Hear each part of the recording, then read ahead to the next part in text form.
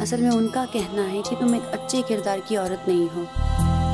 क्या पता ये खबर सुनकर वो मर गए बारिस अगर ये तलाश पूरी ज़िंदगी की है तो तुम आइलिन की ज़िंदगी क्यों खराब कर रहे हो? मुझे ये चीज़ समझ में नहीं आती कि रिलेशनशिप इक्वल क्यों नहीं हो सकते यार।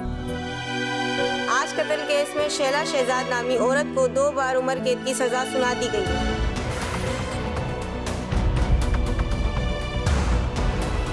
क्या बात करनी है तुम्हें? आइलिन मुझे लगता है तुम्हें अपनी ज़िंदगी का फैसला कर लेना चाहिए। देखिए कैसी है ये रसवाई हर जुमा रात आठ बजे सिर्फ़ एक्सप्रेस पर।